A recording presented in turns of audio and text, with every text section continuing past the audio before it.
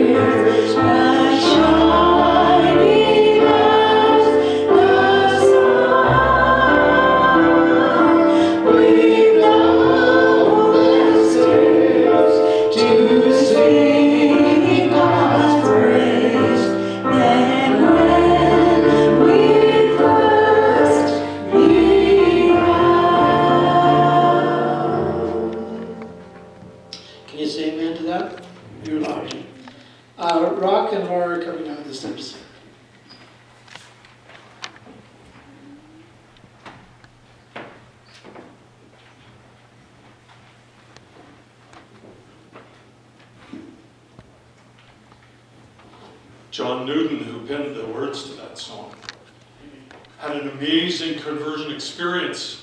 And you know where he was? He was on the sea, in a boat. We're going to sing a song called Lighthouse.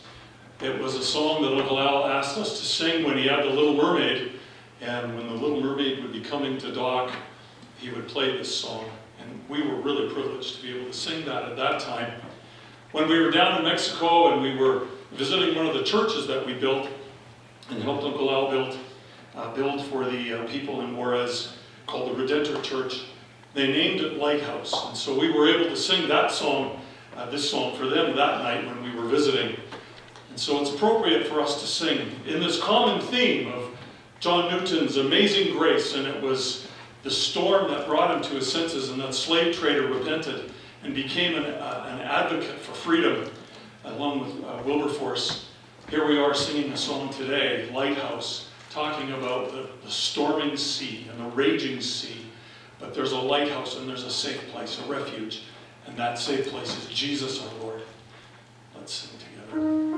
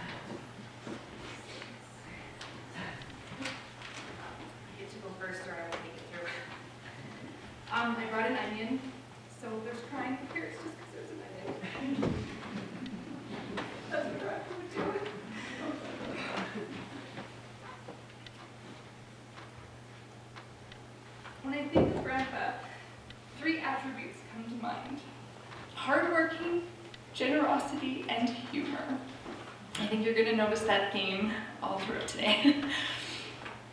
He was all of those things, often displaying all three simultaneously.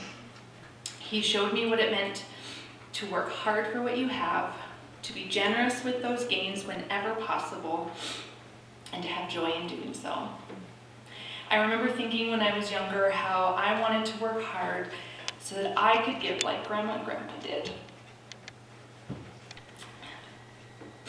And that thought has never left me in everything that I do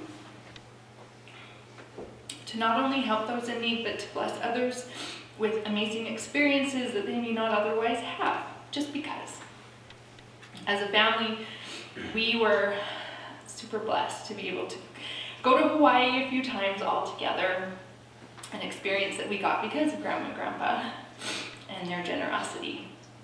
And the memories that we have of those times are more valuable than the greatest inheritance that we could ever ask for. Memories like the bright pink and purple swim shorts that Grandpa would always wear. And we would tease him about it.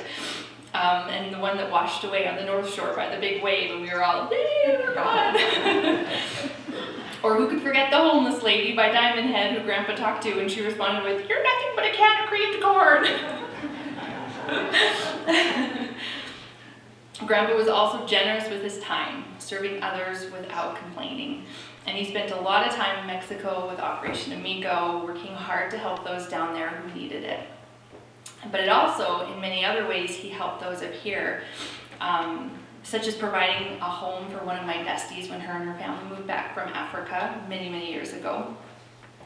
He took the time to organize so many events, some long before I was born, but I've heard all the stories. If they were from Grandpa, they probably weren't true, but from everyone else, they were probably a little accurate. But, but even just as many afterwards. Even for all our family get togethers, he would often arrange for sleigh rides at Christmas, or he'd come prepared with games to make us laugh and bring us together and just have fun. They were silly games, like trying to blow the candle out from 10 paces.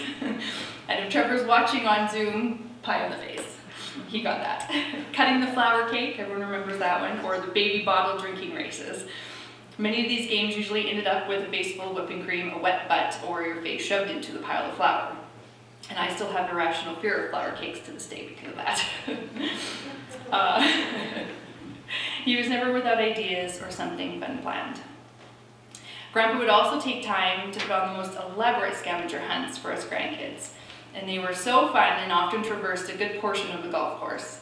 And I remember one year, when us older grandkids were younger, Grandpa piled us all onto one golf cart and proceeded to then drive around with all of us hanging on like a crazy person, pretending to almost drive into trees and be swerved at the last moment.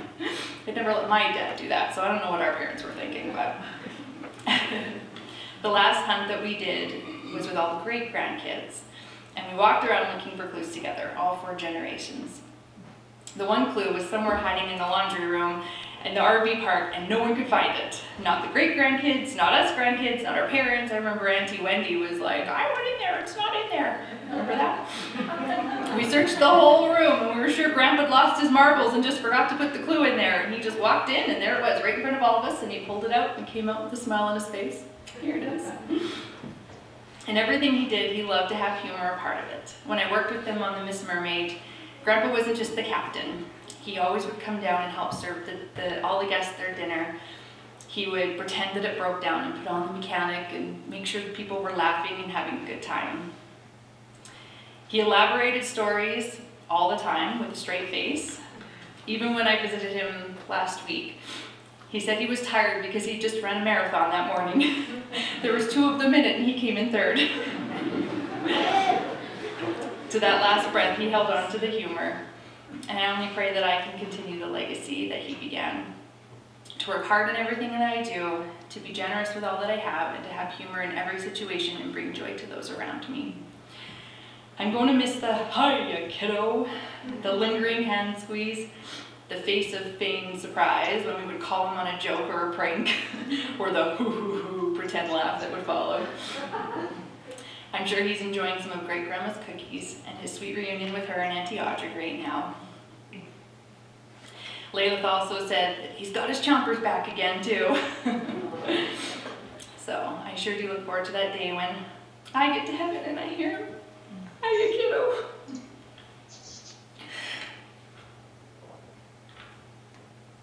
Grandpa will miss you more than you'll ever know. And I'm so thankful that we have hope in Jesus that we get to see him again. But the hole is still very real here. Your presence will be greatly missed.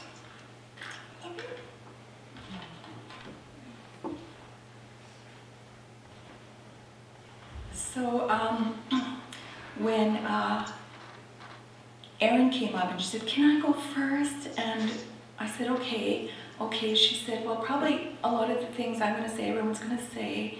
And I said, Well, then I'm just going to say ditto. but um, I, I just want to talk about Dad and say, you know what? He was a six foot, six inch, tall, big guy. And he was a handsome guy too. And um, he was larger than life. And you know, when he entered a room, everybody enjoyed him because he loved to laugh, he loved to joke, and he loved to get everybody involved. He was fun. He brought lots of fun to our family. I, I just have memories of so many fun times. And Dad was also a big dreamer. And you know what? A lot of his dreams, he accomplished them. And we're proud of him. But you know what? That, that isn't just who Dad was. There was another side to Dad who was kind, who was caring, who was thoughtful, who reached out to people when they were struggling. He saw needs and he fulfilled people's needs, the church's needs. And because he was that kind of a person, he also was a giver. And I know this has been mentioned already, but I'll mention it again. Um, Mom and him, they felt called to ministry, and they developed Operation Amigo, which was a huge ministry down in Juarez, Mexico. And they took many, many people down there. And they came in teams and they worked in Mexico and they changed Juarez. They built churches. They built houses. They built orphanages and schools and did many, many more things. And as well, I remember that dad wasn't one of those guys that really liked to get credit for the things he did. There was a humble side to him as well. You know, when we were kids, every year we'd get together and we'd put together um, food hampers, fruit baskets, we'd wrap gifts for kids.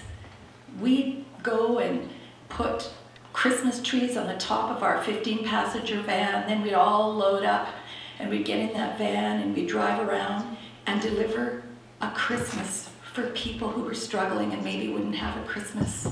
We'd arrive at the doorstep, we'd drop off the gifts, knock on the door, and then we'd run like crazy to that 15 passenger van because it was parked way down the street. And Dad would say to us, You don't always need credit for the good things you do. And that was one thing he taught us. And that was who he was. He was a larger than life guy, but he also had a heart for others. And another thing is he loved his family. Aaron shared about some of the great things we got to do because he loved us so much. And um, I just want to say that he loved all of us, oldest right down to the youngest great grandchild. And he loved us with unfailing love, no matter what we did. He loved us, he never quit loving us, and we will miss him. We will miss him so much. And um, I just want to say, I love you, Dad.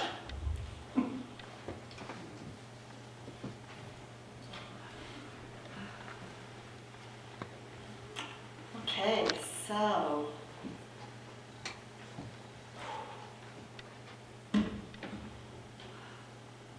That man was larger than life for me. I was terrified of him and when I was first adopted at four and a half. I didn't, I wouldn't go to him. Remember, Mom? You know, and he, he would tell this story about how the camel spit in my, in, our, in my face. And that was the first time I hugged him. And he was just overjoyed with that because I wouldn't speak to him, I wouldn't look at him, I was terrified. And he just wanted me to just know that I was accepted by him.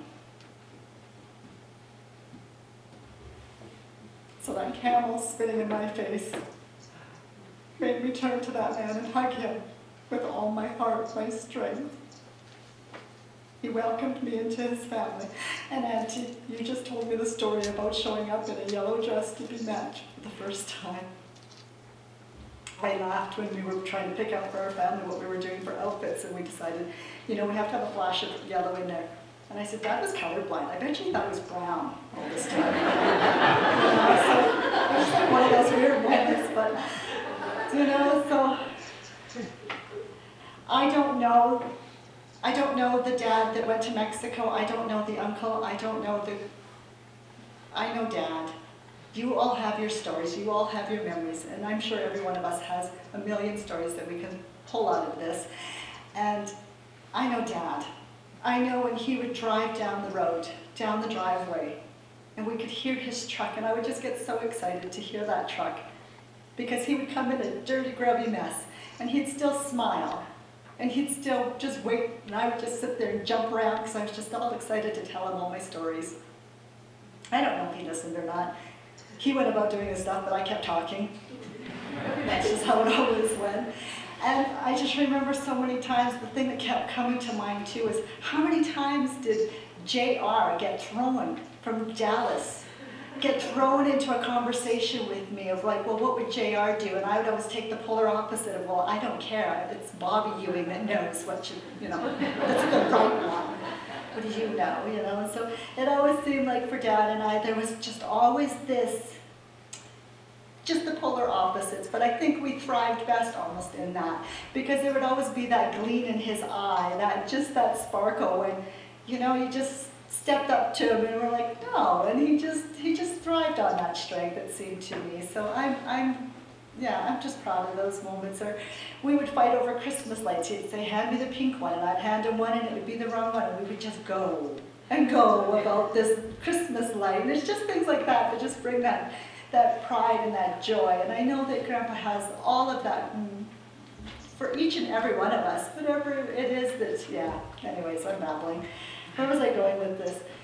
Um, so, anyways, when you guys were singing that song, it truly is one of those moments of where would I be without that lighthouse? Where would this ship be if he wasn't my lighthouse? Had he not taken me off that reserve. I know I would not be here today, and thank you, Wendy, for bringing that to my, my attention the other day. And I look at my beautiful kids in that, like we would not be where we are today if it hadn't been just for that gracious nature of Dad, just to, just to be there to do as he felt called to do. And so I thank you for being welcomed into this family, and I thank you for the presence every one of you guys have had in my life. And I'm so thankful to Dad for just everything he has done to pour into my life. And I think of those days when he would sit on the couch and he'd just put his arm up and you just knew, okay, that's your cue. And I'd jump into the crook of his arm and we would just sit there. And he'd have some stupid remark to tell me or something and I'd be like, oh, Dad, and hit him. And then we would sit and watch Dallas. You know, it is what it is. And that's the things that I just remember of him. He was just a force to be reckoned with. And the other thing that came to mind was the yellow pad. He would sit at the head of the table. We had this huge table.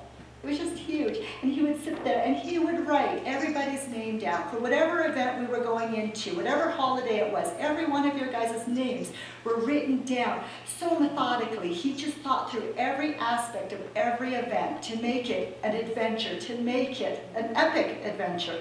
And I think that's what his, his legacy has always will be and should be, even for myself, is that it was always an epic adventure. There was no detail left to chance. He, he orchestrated so much.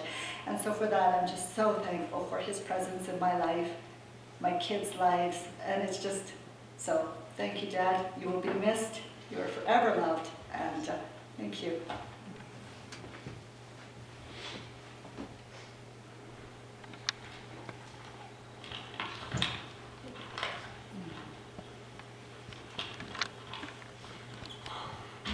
Onion up here.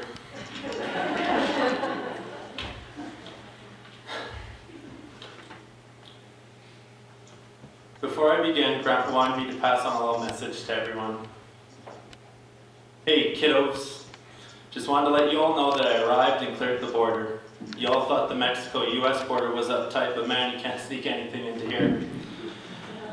I'm all checked into my new home and getting ready for dinner. Getting ready for my dinner reservation with Jesus. The real one, not Jesus. I'm really looking forward to eating something other than an O. Henry and a glass of chocolate milk. You cannot imagine how beautiful it is here. You thought my choice of color was bad on earth? Just wait until you get up here.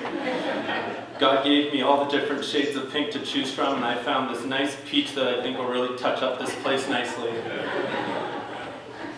I gotta go wake up Audrey again, so you all take care and don't let that COVID stuff get you. LOL.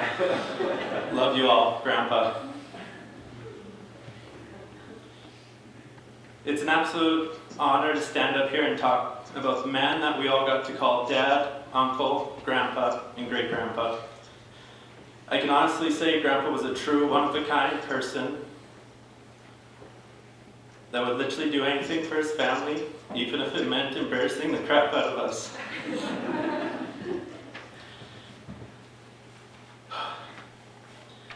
Grandpa was a man who loved unconditionally, gave willingly, was extremely soft spoken, and made everyone feel loved and valued. Grandpa was also very sarcastic and great at making up stories on the spot. The best part was when you called him out on his baloney, he'd give you the same facial expression and grunt. the greatest gift from Grandpa is the countless memories that he created with us. Let's start with all the creative yet awkward, dumb games that Grandpa came up with.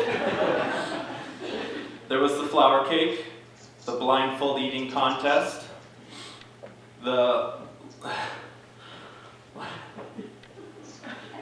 Oh my goodness. the let's take a random object. Oh wait, sorry. No, my bad. The let's kiss a random object, open your eyes and someone's foot's in your face. and uh, one of my favorites, the four-person winter 2x4 race.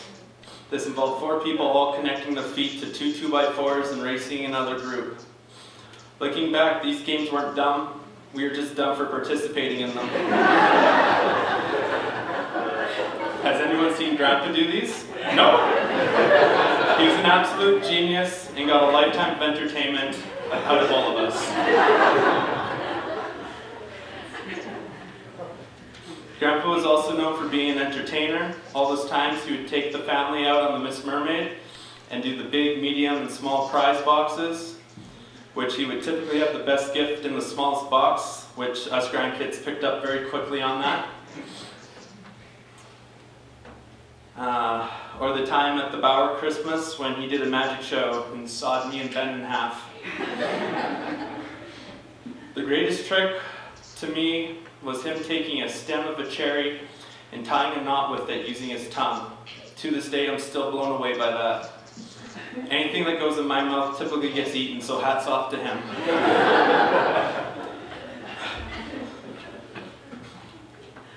what I will cherish most is the times that Grandpa invested into all of us. We were so blessed to be taken on three trips to Hawaii and continually spoiled being greeted with leis and loaded up into limos and taken to our hotel. He loved his family and invested in us so much. One tradition while in Hawaii was Grandma and Grandpa would take the grandkids out for pizza and give our parents a break. The fact that we all made it back goes to show how great our grandparents really are. this wasn't just something he did in Hawaii though. Grandpa continually did everything he could to make us feel special. Like when we graduated, he would always have a night to celebrate us where we got picked up in a limo and taken out for dinner. Grandpa's generosity didn't end with us though. He started Operation Amigo and gave so much to the people in Juarez. I am so blessed to have gotten the opportunity to go down with him. Oh.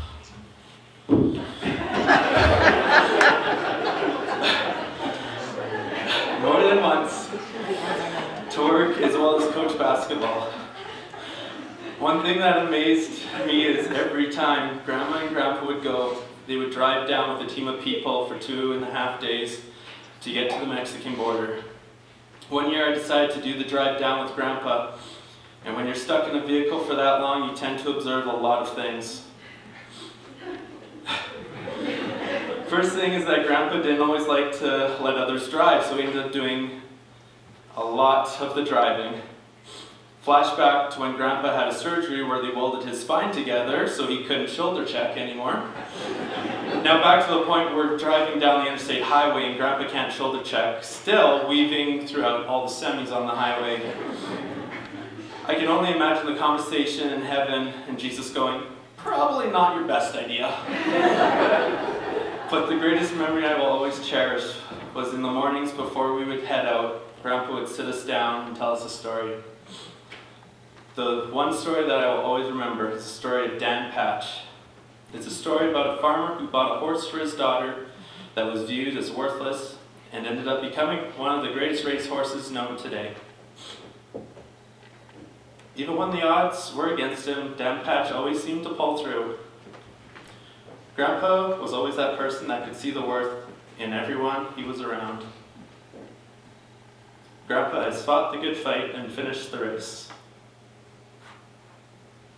I will always cherish all these moments that we have with him, and I'm blessed his legacy will live on in us. Good luck with that.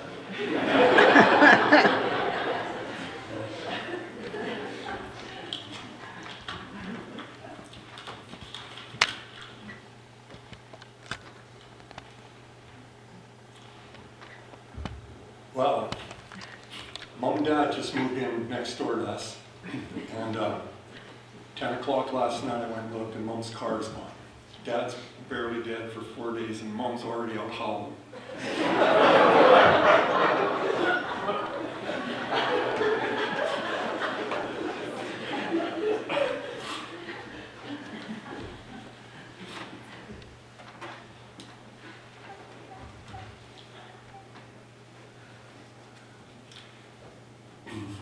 My memories are uh, a little different than the kids'. I uh, grew up going to scouts with dad being the leader. And uh, out on the lake in fast boat, not the big mermaid. And uh, I remember him abusing us, not being fun with us. Like the time Perry is on the tube and dad's got him on a crack the whip. Doing 180. he hits a wave and goes flying. And uh, Perry landed on his hands and knees. And he's skimming across the water. Coming straight for us on the pier. And uh, we thought he was going to take out the pier for sure. And he stopped just before sinks into the water. And I, I heard Dad go, oh man, I got a little close. and then I, I heard Larry Malone up on the, on the bank by his cabin. He goes, Al, get out further. We don't need any more blood stains on the pier. and there was a time early in my uh, scouting days, and uh, Dad planned a trip from Edmonton to, uh, to Burbank, out by Blackfalds. And uh, split the group into three different groups. And we, uh, we had a race out to Burbank. One, one group was on the bus, the Greyhound. Another uh, in a taxi. And the third group hitchhiked. And I, I know what you're thinking, that's not safe, but back then there was no COVID. one, one mom was uh, really worried about uh, her little boy. And uh, they were teenagers already, so they weren't so little, but she made up a big stink and wasn't going to let her, him come. And uh, dad soothed her over, and oh, it'll be fine, we'll be fine, it'll be okay. So she finally let him come. And uh, I don't even remember who won the race, but uh, when we got there, there was a challenge course, and there was a rope across the river. And uh, that man's imagination is just incredible. The, the race first, and then the challenge. And this uh, fella, I don't know if you remember him, but uh, Greg Foley, he's on this rope going across hand over hand, and he got halfway and he got tired. And so he was able to pull his legs up. And he was going legs, hands and legs, and, and uh, he just petered up. And he let go with his hands and he's hanging by his legs, hollering, can't hold on, I can't hold on. Dad says, just wait, I'm coming, I'm coming. And he lets go. Greg let go.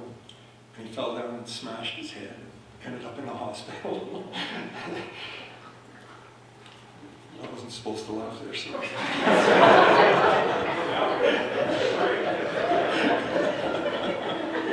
but then Dad got in trouble for that. There was another time we were uh, out in Gull Lake already.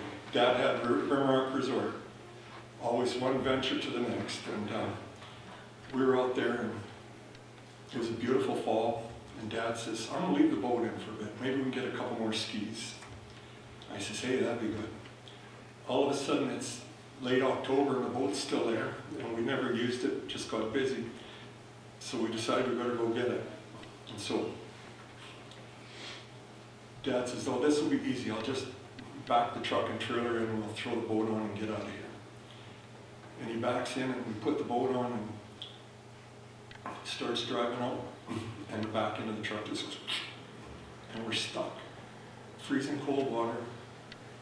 And uh, we're pushing. He has Perry and I out there pushing like mad. Come on, you guys, push harder. and uh, we couldn't get it. He had to go for a walk down the beach to get uh, the tow truck from the marina, the, the Gull Lake Marina. And uh, he had three little boys just sitting there freezing, abusing on us for his own entertainment. Put me under the fire.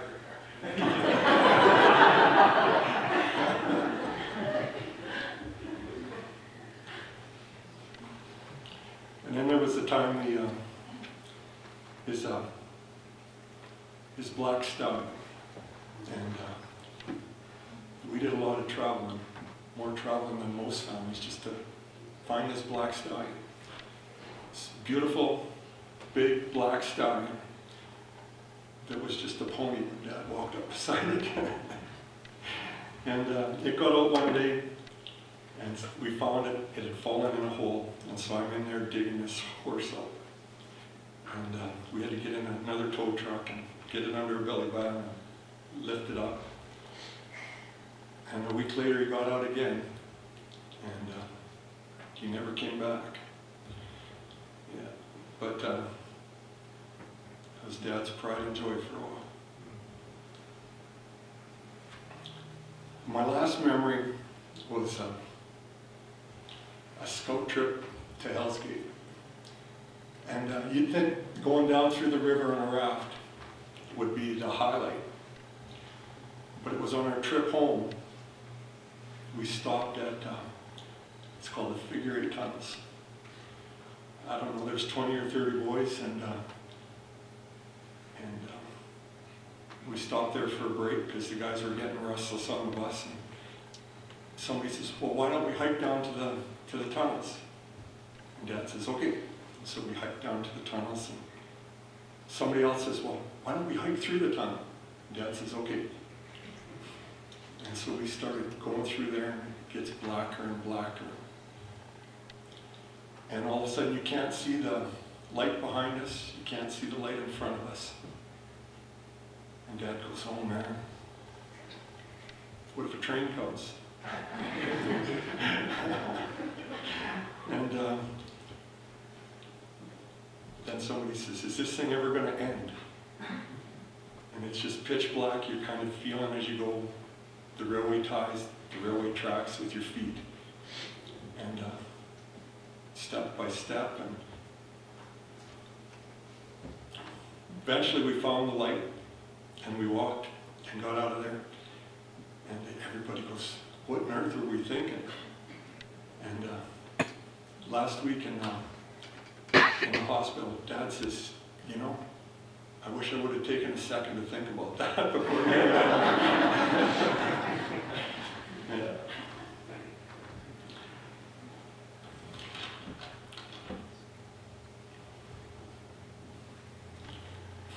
So Dad had um, a crazy side. He, um, he'll admit himself he wasn't perfect. He would like everyone to know you don't have to be perfect to be working for God. We all think, oh, I'm not good enough to do that. I can't do that. All you need to do is say, I'm yours, Lord. Use me. And he will.